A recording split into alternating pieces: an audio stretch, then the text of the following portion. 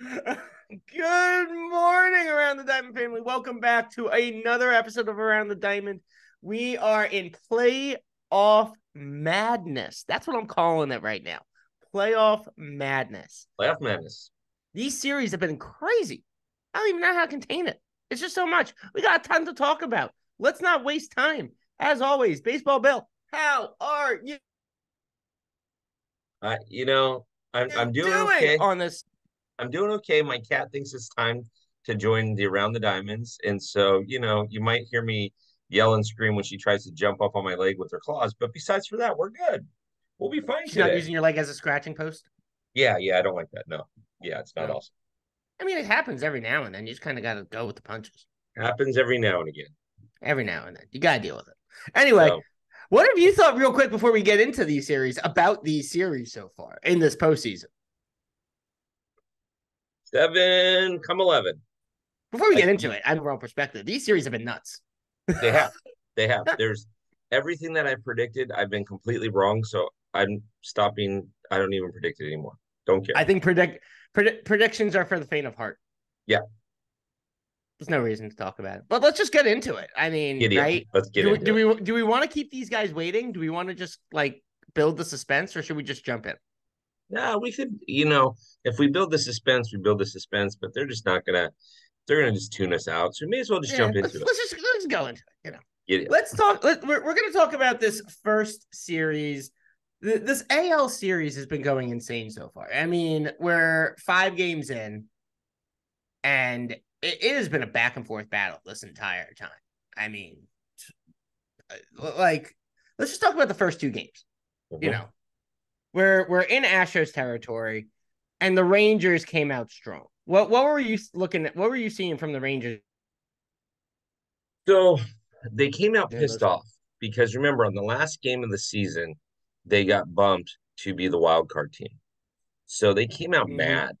Um, they came out ready to fight, and it's the battle for Texas. It's the silver boot. It's like let's go, let's get it on. And they came out and they blanked the Astros to love. Um, Kate Upton had a great outing, just didn't get run support. Rangers held on five to four in the second one, but my gosh, I mean, this series is back and forth, back and forth, and I, I can't emphasize this enough. This series has been made or will be made and broken the rest of the series on shutdown innings. Period. You can't get Yeah. a shutdown inning, you're not going to win. No, that I mean, you you gotta you gotta blank these guys, and you give them an inch, they're gonna take a mile. I think on Yep. either side of the ball. I mean, they they've really proven themselves, especially in the second three games, that you know you give them an inch, they're go- gonna take a mile on either side. Was the zero was the 2-0 blank to the Astros in game one a shock to you? No, Or were you kind of expecting a shutout in that first no. game? Jordan Montgomery, I know Jordan Montgomery was good. I just didn't realize how good he was and how big he can come up in the postseason. Um, Yeah. It wasn't a shock because, again, the Astros, you know, there are a lot of firepower. I think it's sometimes it's a disadvantage starting a best of seven series at home Mm. because you're at home, you have home field advantage, everybody's fired up for you, right? And at the end of the day, at the tail end of the day, you're looking at it and going, all right, all right, all right, we got this. And, you know, the Rangers said, no, you don't. Yeah. And I mean, look, if we're, we're looking at the series, I mean, the Astros are the only top seed left. Yeah.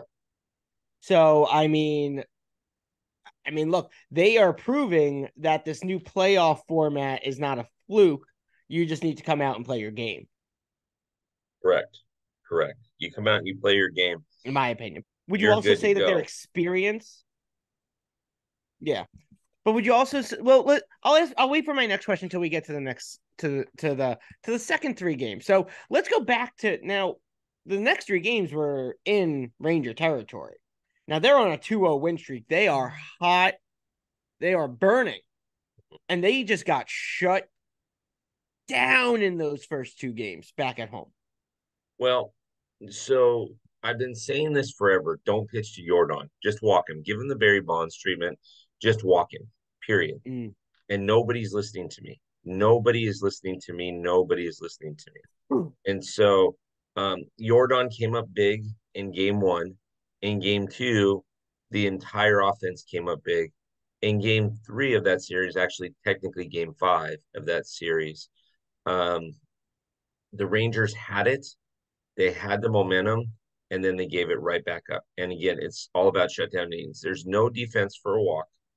And when you walk people, especially in the off or in the postseason, postseason, you're literally playing with fire. You have a gasoline can at your yeah. feet, and you're playing with matches in your hands when you when you're giving up walks in the postseason. Oh, totally, and that makes I, that makes so much sense. I mean, I I agree with you. I mean, there are guys, especially in the postseason, that you look at, and you just have to say to yourself, "We got to bite the bullet, and we got to, you know, like you said, give him that Barry Bonds treatment. Just put him on base. Don't let him. Don't let him make it worse. Control yeah. that situation. You need to control it. I mean, when you have the ability to control what happens with the batter, to take that, take that grace and set yourself up. Yeah. I'm not saying it was going to be a benefit, but at least you wouldn't. You're mitigating a potential risk of making it worse. Right. Um, but let's talk about what something Altuve has done. I mean, he's got what, like a hundred game postseason games under his belt at this point in his career, right? Something like that. Yeah, so he's got 26 home runs postseason. Um, Most by any player in postseason history. Nope. No, I thought he. I thought that's what I saw last. Nope. Number two, Manny Ramirez is number one with 29 home runs in the postseason. Well, I I I hate to be the bearer of bad of bad predictions here, but I have a feeling that that record's probably going to get broken. Maybe. We'll soon. see. Probably soon. Maybe. We'll see. Fingers crossed. Let's go, Manny. hold that hold that hold that you know hold that lead. Hold, hold that, that, lead. lead. Hold that lead. Um, you know, obviously you look at game two, and there was just no coming back for the Rangers. I mean, going up by that much and just kind of coasting to the end.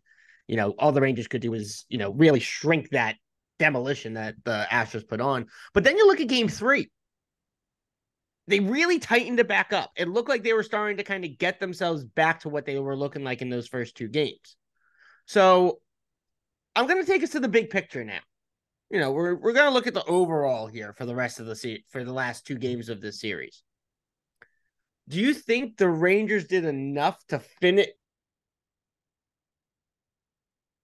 in the to finish the lag in the next two, or do you think the Astros are going to ride that three game win streak into coasting through the next game and just finishing the series out? So, um, again, it's too close to call. Uh, right now, if I were going to say advantage, I'd say advantage Astros. Obviously, they're up three games to two and they're going back home. Mm-hmm. Um, remember, in 2019, they lost every World Series game at home and lost the World Series. Um, they couldn't win at home in 2019 in the, the postseason. So the Ranger fans are hoping that that repeats itself. The Astro fans are hoping that that does not repeat itself, obviously. Um, the the difficult part um, the difficult part is so I'm I'm suspect that the Rangers could potentially win tomorrow, and then anything happens in Game Seven. Right. Game Seven is just a crapshoot. But here's the thing. Here's the thing. In Game Three of this series, the Astros had the lead. The Rangers tied it, and then the Rangers went and gave up three runs and fell behind and ended up losing. Last night's game, mm-hmm. the Rangers went up four to two. Um, going into the ninth, they walked two batters. Again, there's no defense for a walk, right? They walked two batters, and then Jose Altuve, because there's no height limit in the MLB, Jose Altuve is allowed to play. Um, it's not like a Disneyland ride where you have to be 46 inches. Um, because even at that point, it doesn't happen for him. But Jose Altuve comes up and he hits a three run bomb. Okay, again, no defense for a walk. So if guys get on, if you're up four to two in the ninth inning, pitch to contact. you're you're facing batters eight, nine, and then Jose Altuve is number one. So right. pitch to contact. Don't get fined. Don't try to pitch around things. That's mm-hmm. what they did, and it bit him in the rear end yesterday. Yeah. And so, um, part of also what bit him in the rear end yesterday was Bruce Bochy had to go to his bullpen to get his closer out with two outs in the eighth inning. And then you had that brouhaha in the bottom of the eighth inning, which kept this guy on the bench for 15, 17 minutes before he's being competitive again. Closers want to get yep. in, get out, go home, not yeah. sit there for 15 minutes as people are talking about other people's moms and grandmothers. Yeah. And so, yeah, I mean, it, it was what it was. Now, um, also advantage Astros because of the, um, because of the momentum of the fight, right? So I would also say at this point it's experience for them. I mean, having been there all of these years, having a having a fairly strong core group of guys that you've been to the game with for I mean, at least the last four postseasons, I would say. You know, they probably got a strong. Would you say that the, I, I'm pretty sure that they've got a strong core group that have been there for at least the last four postseasons. Yeah, yeah, season yeah. runs that they they're dealing with. They know the environments. So, you know, when so, you have so do some of the Rangers though. So do some of the yeah. Rangers. But the so. Astros have been more but the difference between the Rangers experience and the Astros experience is that the Astros guys with experience have been more successful than the Rangers guys with experience in being yeah. successful. Except so, except who plays shortstop for the Rangers? Why am I blanking on this? Who? Because I can't think of it right Corey now. Seager. Ah, uh, that's right. So Corey Seager was in the 17 World Series with Jose Altuve. He mm. was hmm. in the 18 World Series. He was in the 20 World Series. He was in the playoffs in 17, 18, 19, 20, 21, and 22 before he um, was traded, or not traded, but before he signed with Texas. So he has playoff experience. Right. So he's got yeah. that's one guy. But yeah. that's one guy. I mean, let's go now. But uh, you know, that's one guy. Let's look at the Astro side. You've got Altuve, you've got Verlander. Now you've got, you know, in the last couple of years, you've got Pena, Dubon. You know, hmm. I mean, when you look at the the no. it's always good to have guys with experience. Having more guys with experience in long, you know, more extended experience no, helps no, set listen, you apart. I, I said at the beginning of the season, if you're going toe to toe managers, advantage Bruce Bochy and the Rangers. If yeah. you're going toe to toe experience, advantage Astros. hundred percent. Um, hundred percent. And the Astros, Astros showed that they don't give up. And the Rangers, literally, this series could be over if the Astros or if the Rangers would have held the lead um, in game three and in game five, the series is over. But the Astros fought back. You don't give the Astros. The Astros yeah. are so doggone good. It'd be a great day. Yeah, you can't give the Astros extra outs and giving up free bases and walks and things like that just destroys you. Just destroys you. So it has to be done at the right time for them. It just has to be done at the right time. The only, you know, if it's a first, if it's a first batter or if it's a second batter, you know, you've got at least one out, no one on base. You know, okay, give up a you can give up a walk. You can afford to give up one, but you can't afford to give up two. And I'm sure Bruce was all over them with that, especially after last night. Give you know, putting on the two with Altuve coming up to clear it out. There's, I know Bruce was all over them about it. There's an unspoken rule in baseball, and for those of you that have played it, you never lose a game and a girl in the same day, and you never lose a fight in a game in the same day.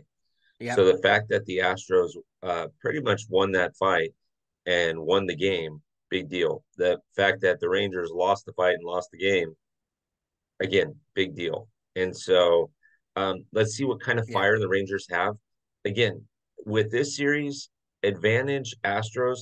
If the Rangers can come out and score two or three runs against, you know, Framber, you know, this guy, right? If they can go out and and score two or three runs and get him up to 50 pitches in the first two innings, advantage Rangers. If yeah. they're expanding the zone like they did yesterday and getting pitchers off the bump after seven or eight or nine pitches in an inning, they're gonna have they're they're gonna better start booking their tee times because they're gonna be able to start golfing next week. Yeah. So last 10 sec 30 seconds. Yep. What are the keys to victory for each of these teams going into these last game to two possibly two games? Don't be like the Dodgers or Giants. Well, the Giants didn't even make it, so I guess. Okay, then don't be like the Giants. No, just like the Dodgers. At least they made it. um, at least they made it. Uh, your keys: don't expand the zone. Look for pitches to hit. Uh, go deep in counts, and don't make mental mistakes. I love it. Short, sweet, to the point, direct. That's how we do it. All right, let's take a let's go and let's take a look at this Philly series. Ah, ah, let's I, I see some fanatics eyes popping up on my head. So ah. you know, ah, gotta like we gotta like we we gotta talk about this incredible, in my opinion, probably the better of the two series, this National League Championship series. Philly did what Philly does at home. That I could hear the energy from Citizens Bank Park from my house in those first two games. It was incredible that feeling. They they were not let holding anything back. Mm-hmm. They were. I, I mean, going up strong in the first game. I mean, Schwarber and Bryce are still doing, and Castellanos are still doing what they were doing in the division series, in the championship series, cranking home runs. They're getting on base. They're making good plays in the field. Their short game is good. I, I mean, I, looking at that, looking at them those first two games, did, I mean, what were your thoughts? Did you think that it was just going to be a quick four game sweep? Yes, yes, one hundred percent, one hundred percent, one hundred percent. Especially after game two. Um, Diamondbacks looked outmatched in game one. Um, they got they got manhandled in game two. Yeah, it, was, it wasn't even a close. It wasn't even close. I mean, Philly last two years, last year in their NLCS run, this year that you know they're, they're kind of going, they're in that Red October mentality again. You know, mm-hmm.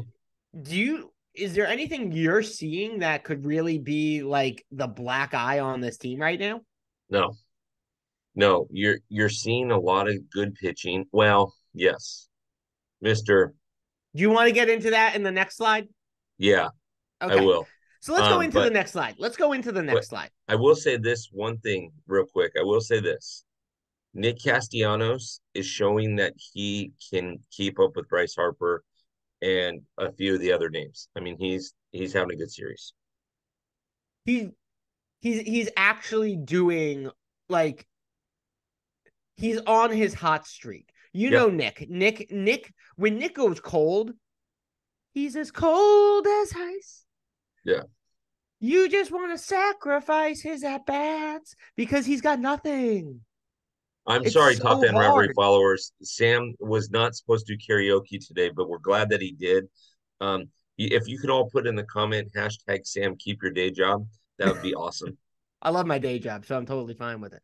But you know, but Nick, yeah. when he's cold, like I said, he's he's ice cold. cold ice, but yeah. when he is hot, he's like lava flowing down a mountain. He yeah. is just uh, like there's not a ball that gets past him or gets thrown at him that he's either not catching when he's on defense or he's not hitting. You put it in a zone, he's getting that ball in play.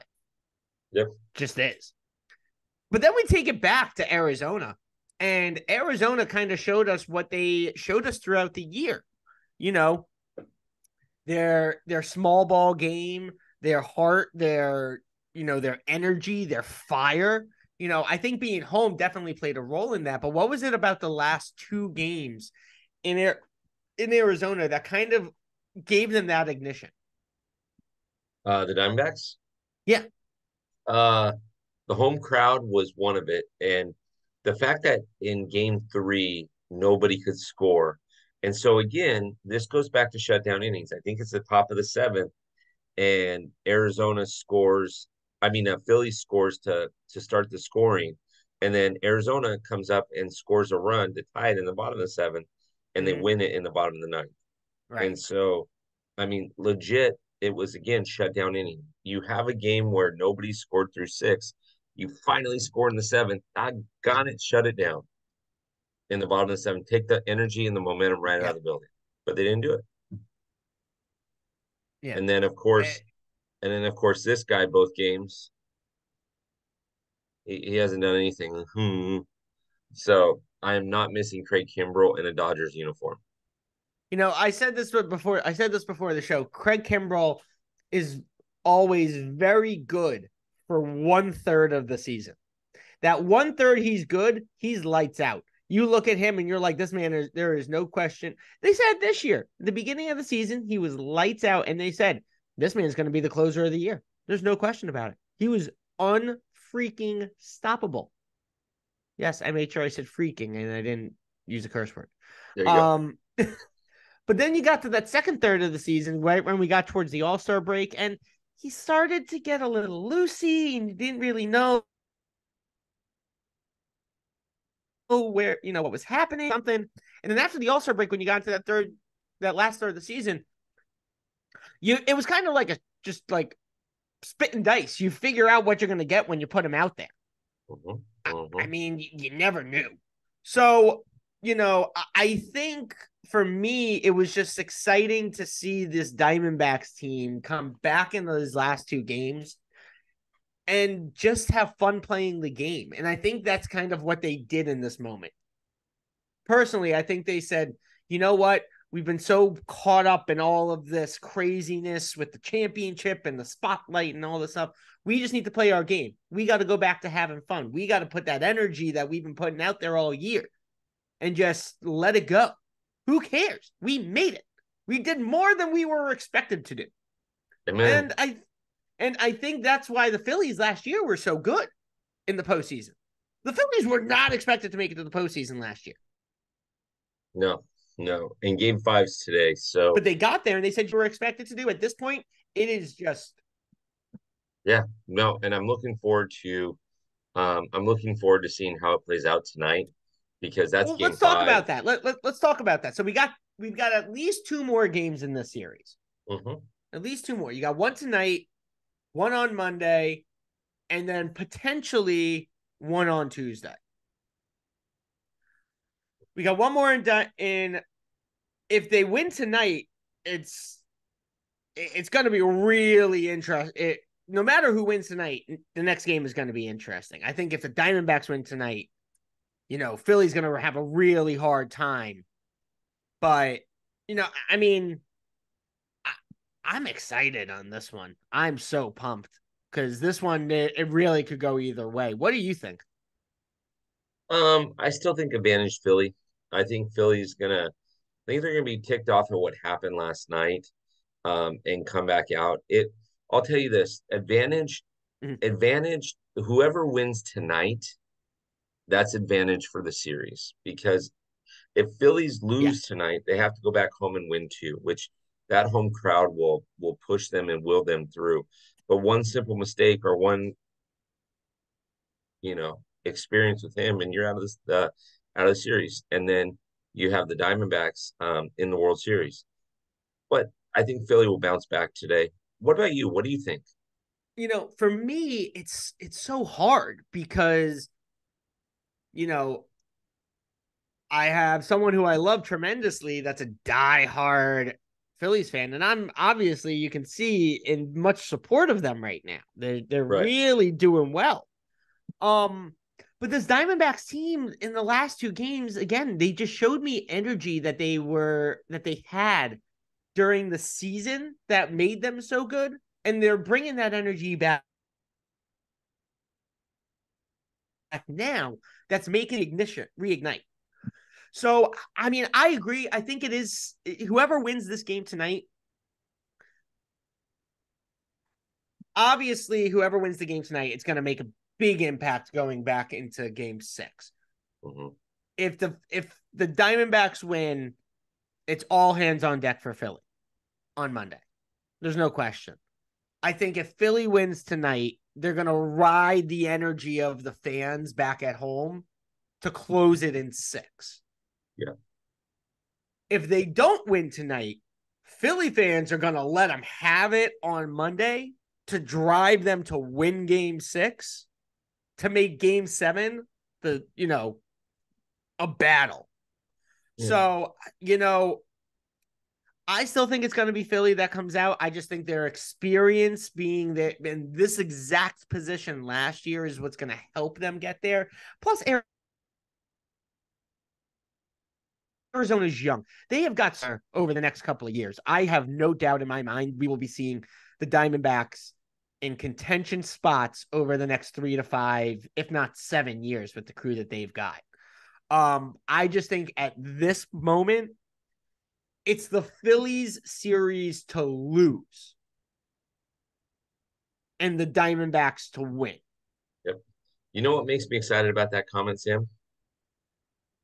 That means that the Giants can secure fourth place for the next five to seven years. Oh, so funny. I'm thinking more the Do- the Padres eventually will because the Giants are going to go ham this offseason. But we Bill and I are going to get on a podcast in the next week or two and we're going to talk about that cuz I got some I got some fire in my belly over the Giants and what they a- plan on their it- doing. Yeah, it, it'll be after the World Series, but you're gonna ha- I'm gonna have to catch up with you because you're gonna be a jet setter here pretty quick. That's true. That's true. So Less than a month. Sam Sam just wants to like record these during the believe it? season and then says deuces. I'm out. Sam, with the last three minutes, what do we want to talk about? I have to take. What are we talking about the last few minutes? You put together such a schedule uh-huh. on the podcast this week that I don't know how people are going to be able to contain their excitement. So you have to tell people how to contain it so they can just release it at the opportune moment. That's right. So Danielle is on the podcast. She's uh she's she grew up a Dodgers fan. She now lives in KC and she's become a Royals fan. We met her and her husband when we uh, were in the suite in uh in Kansas City. Fantastic lady and great family. Um Addict Sox is coming on to talk about the Red Sox season and what to anticipate for 2024. Peter is a Phillies fan. He goes by Sheffield Shuffler. He will be on on Wednesday. Um, was a Cubs fan. Now he's a Phillies fan. He lives in your neck of the woods, Sam. Jake is our our Dodger fan. He's going to come on and talk about. He used to work for the club. He's going to talk a little bit about what the 2023 season looked like and where there were some successes and some failures. And then Sandy is a new guest to the podcast. Um, and she's going to talk Rays. So Danielle, Addict Sports, and Sandy are all new guests of the podcast. So we got three new ones this week. Oh, love it. I wish I, I welcome to the clubhouse. Welcome Yes. to the Top Fan family. It's going to be awesome to have you there. And then you got you got one scheduled around one scheduled in the leagues, but you're making some guest appearances this week, which are always exciting to see you, you know, spreading the top fan love across the spec of Yeah, so baseball Bur- fandom. so Bourbon and Baseball Pod um, has invited me on. Uh, that's Susie. Uh, and then Bleacher Brothers, AJ has me on this Wednesday. We're going to talk about the playoffs and hopefully we're going to talk about, you know, who's in the World Series by then, but we'll figure it out. Yes. Uh, and then, Sam, you can turn the page to the next one. Well, before we get to the next one, we also have to make, you know, you made this announcement yesterday. Yep. I just kind of want to reiterate it again. We, you know, you community and we're really you're really growing top fan rivalry. You brought on someone to the top fan rivalry crew to really help build the exposure. Uh, Megan has been hot, you know, you brought Megan on, who is a diehard Mets fan out of Texas. Big love for big love for her Mets. Sorry, so sorry for them. Um, and at times sorry for her that she has to be a Mets fan, but she's been brought on as the director of marketing. So she's going to be doing a lot of great things for Top Fan, really getting the name out there more and more as Bill has done so much. So just wanted to congratulate Megan on being brought into the Top Fan rivalry hierarchy, so to speak. But Yes. she's going to be doing a lot of stuff for this next event that's coming Yes, up in is. January. We yes, are she is. So we are So- just so close. I bought my Uh-huh. plane ticket, my man. I bought it. I'm All going. right. All right. You're you're there. Yeah. oh, the- I mean, I'm as close to being there as already there. has already booked. Yeah, exactly. And so, yes, There, congratulations to Megan for joining the staff of Top Fan Rivalry. More to come. Um, this Vegas thing, you guys don't want to miss this. So here, I'm going to tell you how to save money. Just keep it between you and I, though. Okay. So here's how you're going to do this. You can pay $150 a person to go to the event. Okay. Now, what we have planned and what we're going to release in this next week, just so that you know what we have planned, if you did it on your own, it's well past $300 an individual well past, closer to 400. Um, but you know, that is what it is. We are going to have some fun out there. Um, okay, so here's the thing. Go on to topfanrivalry.com, click on the team store, buy your ticket $150. If you want to save some money, okay, you can go on to Top Fan Rivalry, register in the locker room for $58. $58. You can register in the locker room. And Sam's going to give you a code in a second for that, where you can get 10% off. And then you can go buy your ticket in the locker room store for Vegas, and it's discounted down to $75. So you can either pay 130 or 150 to go to Vegas. Either way, if you pay the 130, then or roughly 130, then what you end up having through that is you end up having a bunch of time in the locker room in the clubhouse. So um, it's a good time. So Sam, is there There's nothing wrong with being in there the locker room. You put a lot of great. There's a lot of great stuff you have in the locker room. I Yeah. mean, I strongly encourage you to go and do it because Yeah. getting fifty percent off for the fifty-eight dollars to get fifty percent off of this amazing fan fest is going to be totally worth it, in my opinion. But the code you need to use is Fat Cat. No, Back.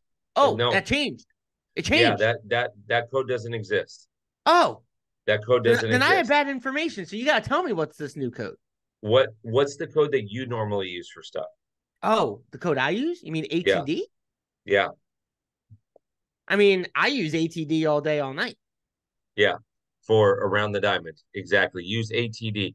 The Fat Cat code does not exist. Uh, that was an old code and it actually wasn't working. So don't was- worry about a- that. it was a Do not use that. Use ATD. We wanted to fake you all out with that code. I was testing Exactly. every single one of you listening to this. So if you go and you do Fat Cat, you're sorely mistaken. You'll never see it. Yes, use the code around the diamond. ATD is what you want to use. That will get you 50% off your fanfare ticket, your fan ticket to FanFest. Make sure you're there. Buy your ticket soon. Airline prices aren't going down, they're only going up. So you got to make sure you get there soon because Bill has got a ton of stuff planned. But as always, make sure you are checking out topfanrivalry.com for always new articles, new podcasts, and new merch that's coming out. Bill is already planning watch parties for next year. Me and him are in contact about some watch parties that we're going to start setting up on the East Coast. So you are not going to want to miss it. Any final comments for the fans out there? Bill. No, go enjoy the weekend. Go enjoy some baseball. We'll see you when we're talking about the World Series edition. Oh, yeah, it is going to be great. As always, thank you for joining us this week, and we will see you next week on the field. Have a good one, guys.